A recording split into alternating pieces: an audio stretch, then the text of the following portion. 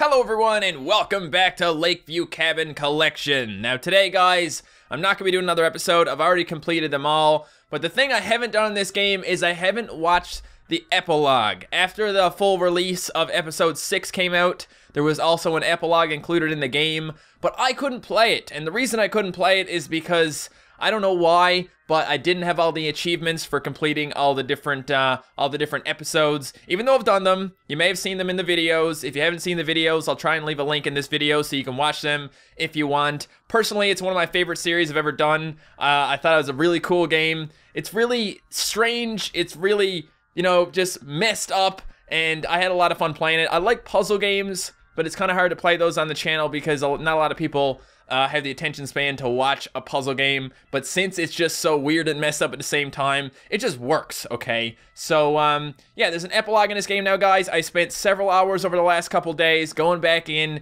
and completing all the episodes again, and now, hopefully, this epilogue is going to fill in the gaps in the story, because we don't really know a whole lot about what's going on. Before we go in, guys, I'll just go ahead and briefly explain each of these episodes, just to, you know, refresh your mind. In Lakeview Cabin 3, you are uh, being attacked by some clown guy. He's crying like a baby, and then um, you have to kill him, and then his father, I guess, comes out, and he has a knife, and he's really upset when he sees the dead body of the clown child thingy. He attacks you, you kill him, and then a lady comes out of the water, da-da, da da starts singing and uh, you have to either kill her or get killed by her and then the episode ends. So that's lakeview cabin 3 it's very similar to the original flash game. That one had to do with that uh, i think you're just getting killed by the red dude in that one. Not really sure. It's been a long time. Honestly i thought about going back and doing the original again since it was such a long time ago since i did it. Not really sure if i will or not but uh, yeah so in, in Lakeview Cabin episode 4, you're at some sort of summer camp. There's a whole bunch of cannibals. There's a guy with a pig mask and a chainsaw.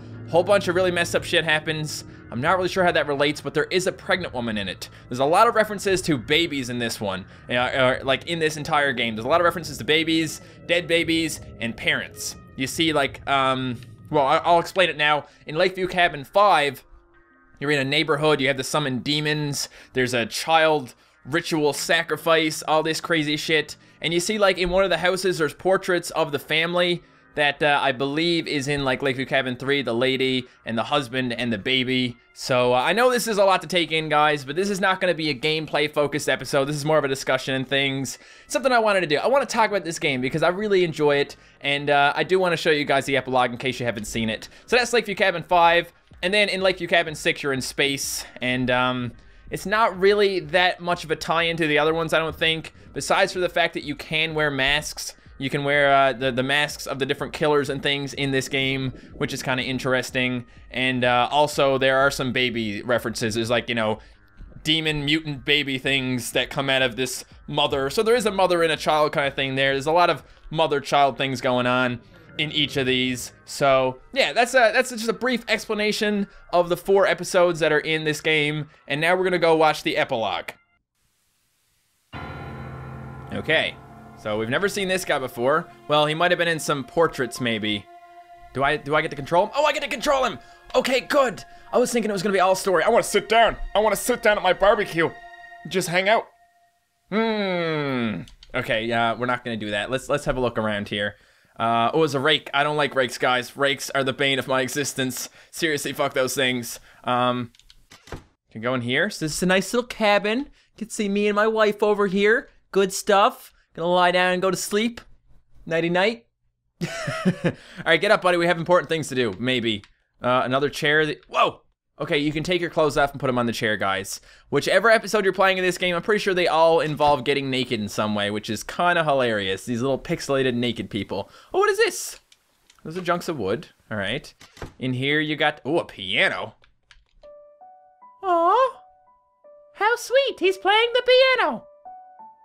he looks like he's really upset. I don't know if he has some, some, uh, you know, some problems in his life, perhaps.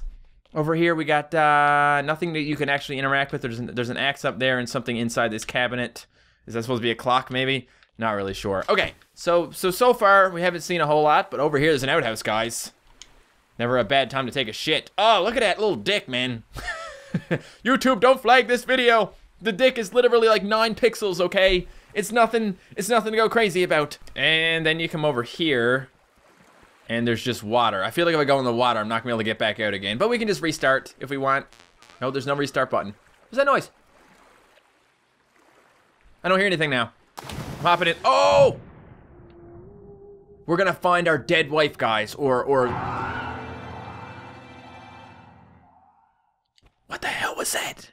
See, she drowned. It. She must have drowned because she comes out of the water several times. So does the baby. Did she possibly drown her baby? What is this thing? Is that a ball? I ain't got no one to play ball with, man. What am I gonna do now? There's the water again. What was that? You heard that noise. I don't know. I keep hearing noises, guys. I'm pretty sure I keep hearing noises. Do you want to play ball with me, son? Yeah, I can hear like a creaking door. I'm gonna go back in here again. Hey! What you doing there, woman? Uh, is she pregnant right now? I can't really tell. And you never ask a woman if she's pregnant unless you know for sure, guys. Remember that. oh, snap. And I woke up again. Hey, look! Look at this! Over here, guys, is the, is the laser gun. It's not making any pew pew pew noises. I thought it did in the other one. But that laser gun is from, um, from Lakeview Cabin 5. One of the one of the like siblings, you know, the whole incest weird thing that happens. One of those siblings has a laser gun in his room. All right. So uh so we know that she drowned and then she came back and attacked me, which wasn't very nice, I will be honest. Um let's take this ball. Go for a walk over this way. We haven't been this way yet. Wait, is that is that this way for you? No, this way. Let's go that way. Damn it. The rake. Ah! Hate this rake. Okay, throw the rake. Now I can't come back, guys, unless I want to get hit with the rake again. Uh, which wouldn't really be that big of a deal. What is this thing? Nothing. In here we got uh, a bucket. You can sit down. Oh, is this a sauna? This is a sauna, guys. This is one. This is one like pretty awesome little little place you got here. Cause uh, I'm not really sure what it is. Is it a summer camp? I think one of the one of the games is a summer camp for sure. Yeah, I think you're supposed to be camp counselors. Yeah. Anyway. Oh, there's always a place to take off your clothes, guys. Oh, okay. So there's a bucket. We'll put the bucket over here. We'll get some water. No, water's not working. He's got sad again. Dude, why are you getting sad? Oh, shit. Don't throw away the key. Damn it, woman. You threw away the key. I'm gonna throw you away. Can't, can't even do that. I'm gonna go get the key then. Whatever. Hey! Whoa! Sir? Sir? Cut that out. Ser seriously.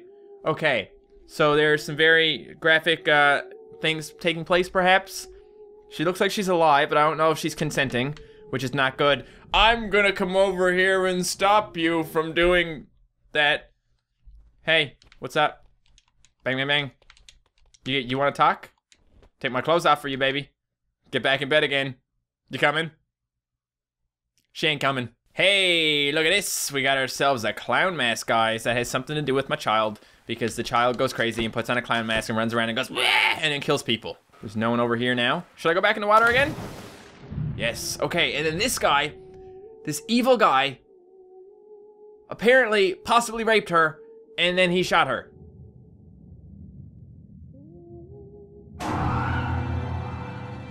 Okay. You, you're, you're not a very nice guy, I'll tell you that much for sure. Are you okay? So how does this, uh, how does the red guy come into this?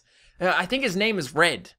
See, um, one thing I should point out, guys, is that after I go through this, I'm gonna go read the full story. Somebody posted a full story on the Steam community. Shout out to the Steam community. Like, the people who worked hard trying to figure this game out are champs. What's this? Oh, yeah, another place to take off my clothes. There's always a place to take off your clothes in this game. And now, guys, the satanic ritual is taking place. There's a top hat over here. Somebody had a top hat at one point.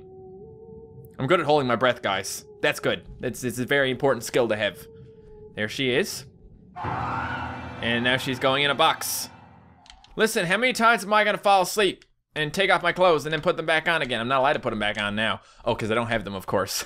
you can only take off your clothes and lay them on something. You can't put on magic clothes. Um, that's an empty pill bottle. Okay. There was an empty. There, there was there was a pill bottle you could overdose in um in Lakeview Cabin Five. That's one of the ways you could die. Dumb ways to die, of course. Hop back in again. R plus E. So this is red, right? Wait, that's me, right? Huh. Let's have let's have a look here. How sweet. And then she goes all crazy and, and dead and stuff. And he's so happy about I don't know why he's so happy about that. You think he'd be a little bit upset that, that that's happening. Um, okay. I feel like this is some sort of like Groundhog Day scenario where I just keep on waking up. Hey, who's in this tent over here? What are you doing in this tent? I think the basic idea here, guys, is jump in the water and find out what happens. Oh, now she's eating people. Listen, listen, are you eating your, your boyfriend? That's me. You're eating me. That's not very nice. You're naked too. Well, I guess that's okay if you weren't a demon. Not really attracted to naked demons, you know. Back in the water again. Now there's that thing. What is that? Is that an eye? I'm gonna do it. Chop, chop, chop, chop, chop, chop, chop. What is this gonna do? Like, what, what is this, what does this mean? What does it all mean, man? I don't understand. I, I guess I gotta stay here and do this. I got no, there we go, I woke up again. Not surprised. And hop back in the water again. R plus E. They're just loving each other a little bit more every day. Except for when she eats him. It's not, not, not good. I grew a mustache since then. Okay, this is way back in the day when I was just a young man. Kind of like I am now. Can't really grow a mustache. So what are you guys doing? Nothing. Okay, let me let me go on. The, I'm gonna go to the left this time. Past the freaking rake. I'm just gonna throw the rake in the water. I don't know why I haven't done that yet, guys. It's probably the best solution. That way I don't have to worry about ever hitting it again, right? Nah, I'll probably just come back. You know, the rake the rake is here to plague my existence. How many times are you guys going to stand up and love each other? What do I need to do about it? Oh shit, guys. So it turns out the axe is available now. Not sure what I can do with it. Probably have to kill her with it, to be honest. I mean, she's standing up in my room, and, and like, I guess I'm going crazy. Yeah, I'm going crazy, man. I just keep waking up doing the same thing every day, and she won't even talk to me, and I just had to kill her, okay? I just had to chop her body up into pieces, apparently. That's not disturbing at all. All right, I think this is pretty much it. Going back to bed. Good night. Well, now that she's dead, maybe something different will happen down here. Yes, it will. Now they are old people. They grew old together? You guys grew old together? How did this happen? You were like dead a second ago, and now you're old people just holding hands and rocking in rocking chairs. Okay. Well, I'm I'm happy for you, okay? Wake up. Your wife is dead, sir. And she left you. What the hell is that? Oh, Jesus. Is that her body? I think it's her body. Hey, kids! Cut that out! Excuse me, I have a body that I have to throw in this water. Oh, shit! Goddamn rake! God damn it! St shit! There. Now get the hell out there. So I guess I uh, I killed her, guys. I'm the one who killed her, and uh, threw her body into the water, and then she came back to hunt me. Look, here we are again, just growing old. Don't make me do it, man. Don't make me kill these kids.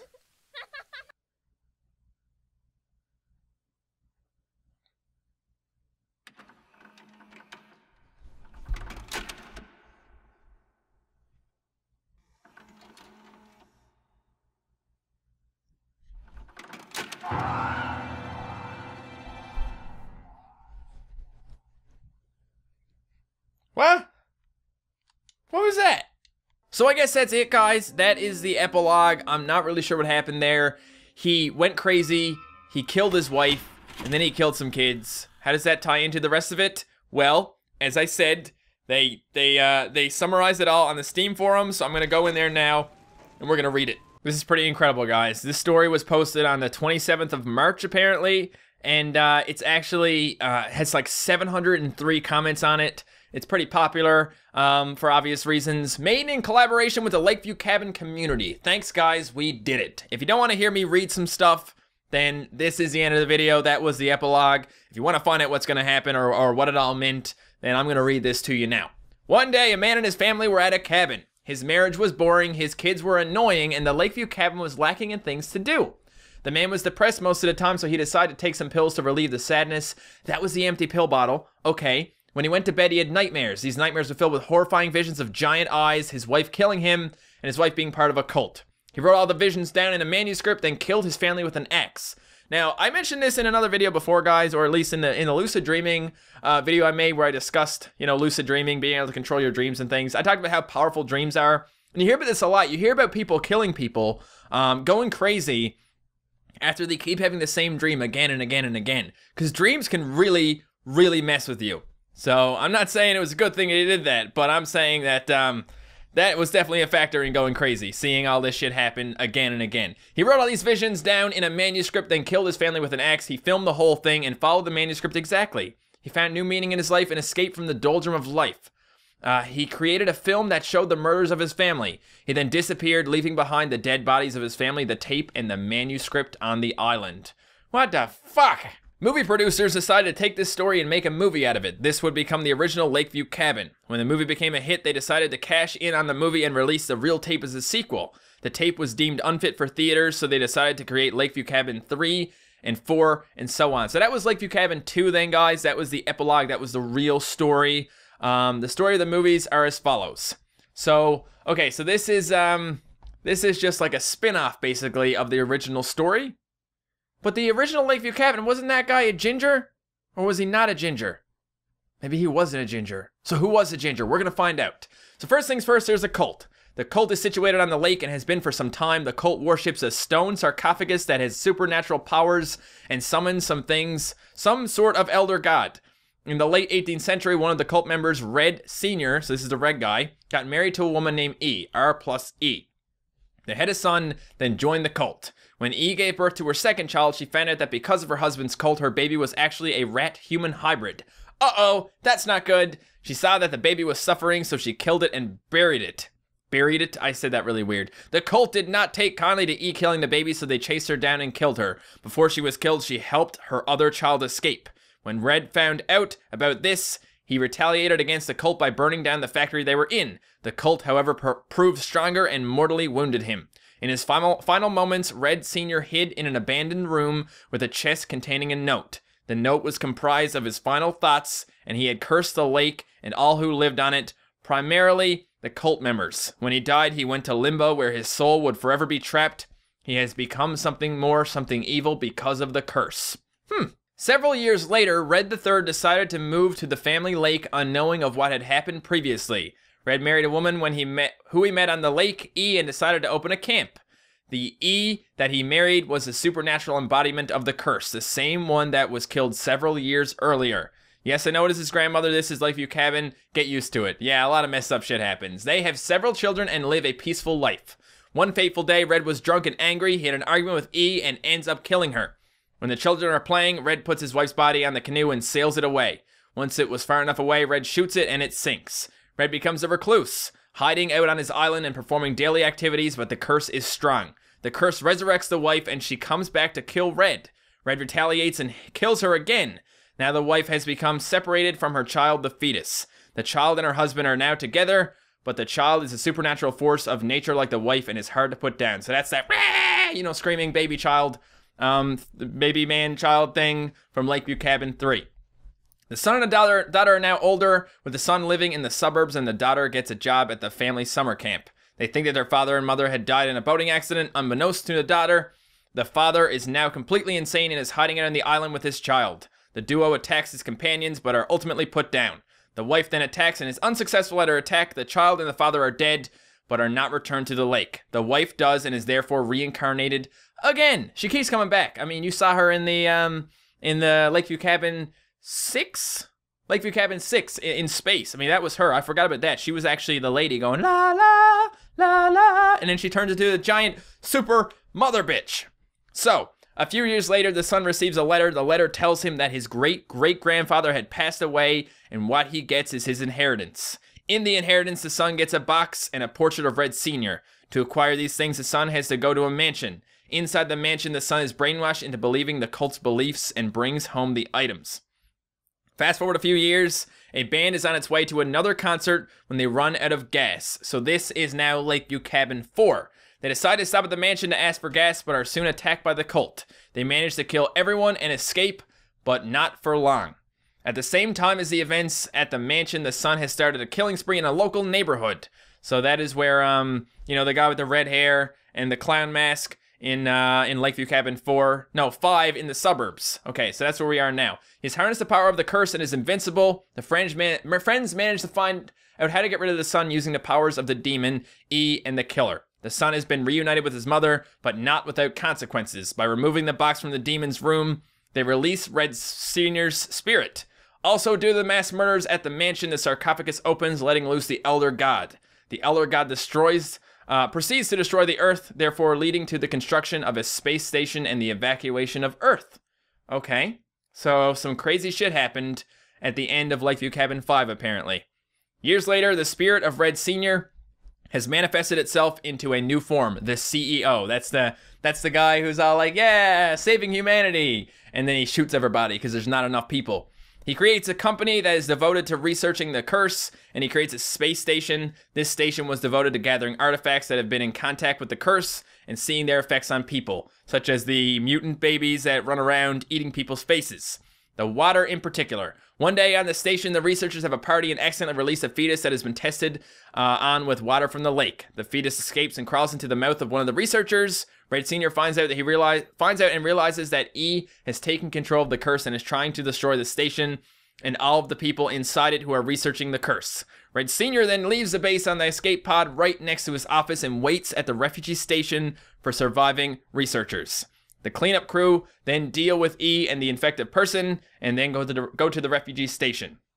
Red Senior waits to congratulate them and for their efforts uh, of stopping the one thing that was trying to stop the curse from spreading E. Years late, years after the movie was released, a midnight showing of all the movies was put to try to make a little money at a failing theater. That's the main menu of Lakeview Cabin. Little do they know, the husband had come back. He did not like the movies that were made for obvious reason and has killed many people that were going to see them. One of the people uh, going to see them was a surprise guest, the actor who played Blue Shirt, but he killed himself before the husband could get to him. So that was the guy who hung himself and the main menu. The theater goer, the hobo, and the twins kill the husband and end the nightmare once and for all. That's the the puzzle on the main menu. You can actually kill the sewer guy who apparently is uh, red coming back. I think. I think that's what they said. The story has come to a close, but here's the thing: the husband turned into a rat. Was he really just hallucinating, or were the visions true? Thank you for reading. Okay, that is a really crazy story, guys. Like, this game blows my mind. It's like one of my favorite games ever because of the fact that the story runs so deep. And I just have a huge appreciation for, uh, I think his name is Roope. I'm not sure exactly how to pronounce his name. I think it's Roope Tamminen. He's the guy who made this game. And, uh, you know, I played the original. And then when he started coming out with this one, I really followed it closely. I've been talking to him a lot. He sent me, you know, copies of the game early and stuff like that. Yeah, it's just been just a crazy experience playing this game because you know, it's one of those games you really have to think about. And I love really having to think about stuff like movies where you get these crazy endings where you're like, what the hell just happened? And that's how I feel after playing this game. What the hell just happened? So there you go, guys. That is the story of Lakeview Cabin Collection, the entire thing. Uh, like I said, I would kind of like to go back and play the original again, since it was a really long time ago. I'm not really sure exactly what happened in it. So if you want to see that, let me know. Just thought that might be a, an interesting idea. But yeah, Thank you guys so much for watching this video. If you enjoyed it, don't forget to leave a like, and I will see you next time. Goodbye.